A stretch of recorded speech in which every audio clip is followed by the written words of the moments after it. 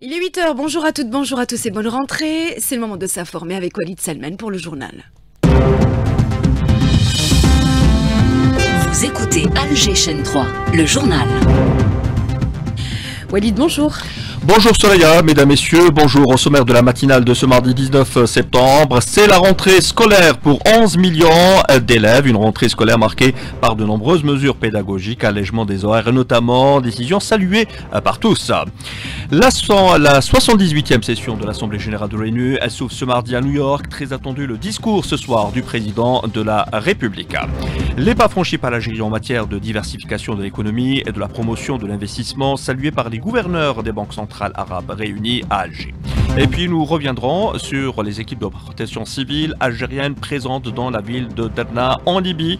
Ils ont retiré jusqu'à l'heure 129 corps sans vie des décombres depuis le début de leur mission de solidarité avec le peuple libyen.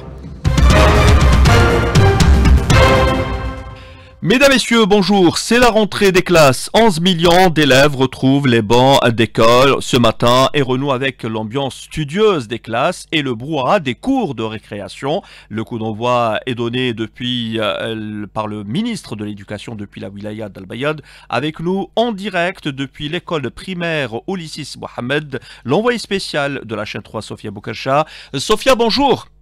Oui, bonjour Walid. Donc effectivement, la cloche a retenti donc, euh, dans toutes les écoles du pays. Ici, à donc le ministre de l'Éducation nationale vient de poser le coup d'envoi officiel de cette rentrée scolaire, une rentrée tant attendue. D'ailleurs, les euh, élèves que nous avons rencontrés sont impatients, vêtus de leurs euh, donc nouveaux habits, contents de retrouver l'école, de retrouver leurs camarades de classe, leurs enseignants, pour cette rentrée donc après les grandes vacances.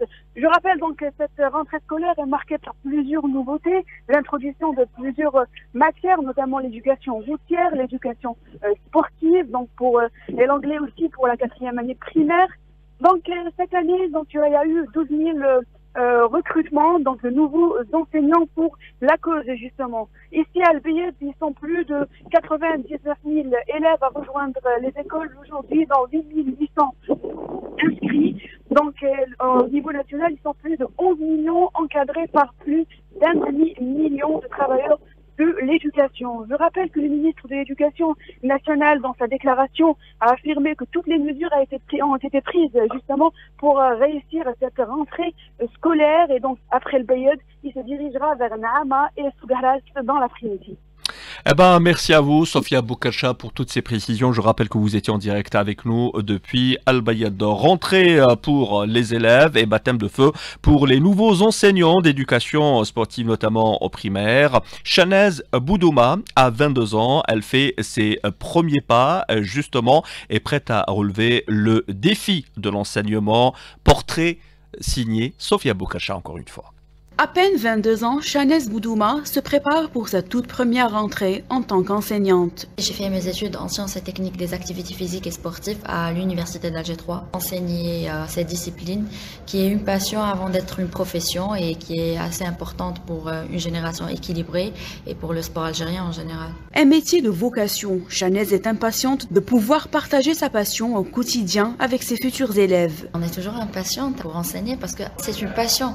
Le sport, c'est ma passion. Et être enseignante, c'est encore c'est un honneur en fait. Riche de son expérience en tant que coach sportive, elle se sent prête pour relever ce nouveau challenge. Le sport est vraiment intéressant par rapport à la vie scolaire. Tout le monde sait que l'élève algérien subit beaucoup de charges, donc je pense que ça va être euh, son espace. Oui, oui, oui. Vu que j'ai pratiqué déjà au club et je suis présidente de club sportif. Après avoir été sélectionnée, Chanel a suivi une formation. Je pense que le plus intéressant, c'est qu'on apprend la pédagogie et la psychologie de l'enfant. C'est une formation intéressante parce qu'on rapproche nos appuis. Pour son premier jour, elle a déjà établi son programme. Eh ben, plutôt, on va aller vers les jeux, on va amuser avec les enfants, on va préparer des jeux pédagogiques. Devenue enseignante d'éducation sportive, un métier dans lequel elle se sent profondément utile, Chanès Boudouma, mardi 8h, sera face à ses élèves pour la première fois. Merci, c'était le portrait signé Sofia Bokacha. Direction New York où s'ouvre ce mardi la 78e session de l'Assemblée générale de l'ONU. Le président de la République qui prononcera un discours ce soir devant ses pairs représentant les 193 pays membres de l'Assemblée générale. Il est attendu à ce que l'Algérie défende ses positions, les positions qui ont toujours été les siennes. L'Algérie qui avait appelé d'ailleurs dès les années 70 à un nouvel ordre économique mondial, à un rééquilibrage des relations internationales, un ordre basé sur la justice et non pas consacrant la domination du plus fort, la réforme des institutions onusiennes, et trouve aujourd'hui également tout son sens. L'envoyé spécial de la radio nationale, Rim Boukhari. Hier, l'agenda était particulièrement chargé pour le chef de l'État, qui a d'abord reçu à sa résidence à New York son homologue suisse Alain Berset pour un tête-à-tête avant de rejoindre le siège des Nations Unies. Là-bas, le président de la République a reçu dans un premier temps son homologue ghanéen, Nana Akufo-Addo, avant de s'entretenir avec le président de la République islamique d'Iran, Ibrahim Raisi. Autre rendez-vous pour le chef de l'État, euh, celui qui s'est tenu avec son homologue turc Recep Tayyip Erdogan. Toutes euh, ces rencontres précéderont le moment crucial de cette 78e session de l'Assemblée générale de l'ONU. Il s'agit euh, du débat général prévu euh, ce mardi face à pas moins de 143 dirigeants du monde. Le président de la République prononcera son discours dans la soirée. Il s'adressera ainsi à l'opinion publique internationale dans un contexte de grands bouleversements géopolitiques. Euh, L'Algérie qui s'apprête d'ailleurs à occuper son siège de membre non permanent au Conseil de sécurité. L'Algérie qui n'a d'ailleurs jamais hésité à déployer son arsenal diplomatique lorsqu'il s'agit euh, d'œuvrer à la consécration de la stabilité et du développement au Sahel et sur le continent africain. De New York, Rim Boukhari pour la radio algérienne. L'Algérie qui a pris euh, part hier au forum politique de haut niveau pour le développement durable, représenté par le ministre de la Santé, Abdelhak Sehi, qui, donne, euh, qui dans son allocution a évoqué les efforts accomplis par l'Algérie en vue d'atteindre les 17 objectifs fixés par les Nations Unies d'ici 2030. Et à propos d'objectifs de développement, pour en parler ce matin avec nous, Hamid Belkassam, bonjour. Bonjour Leïd. Un exemple, le programme d'élimination des zones d'ombre. Bah, tout à fait, les 17 euh, objectifs regroupés au sein des 5 P, les fameux 5 P pour planète, population, prospérité, paix et partenariat.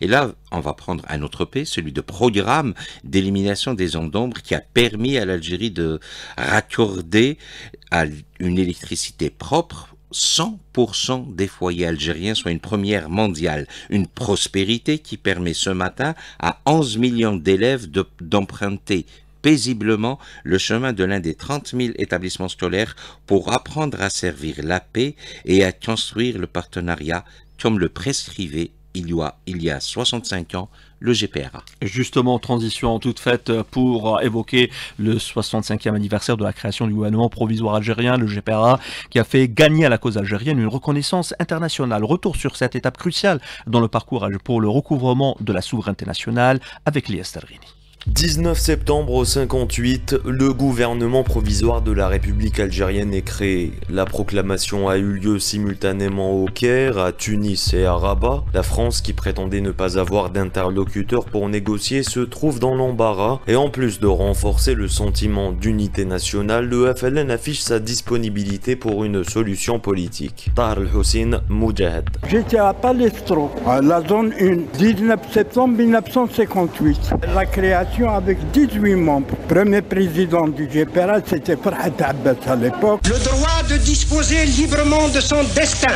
est enfin reconnu au peuple algérien. En unifiant les différents groupes nationalistes algériens, le GPRA a contribué à renforcer la cohésion politique et stratégique de la lutte pour l'indépendance. Mahmoud Arbadi, Moudjahid. La création, ça a été déjà préparé par euh, des hommes du FLN. À l'époque, j'étais en prison, moi. Quand nous des informations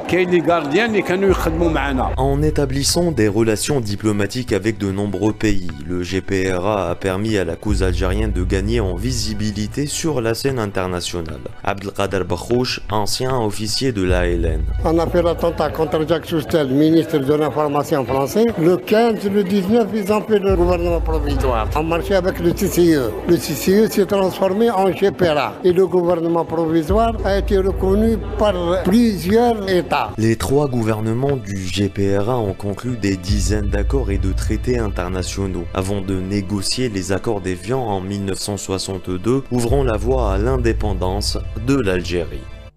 Et au chapitre économie, les pas franchis par l'Algérie en matière de diversification de l'économie et de promotion de l'investissement, salué par les gouverneurs des banques centrales arabes réunies à Alger, Rim Boukadouma.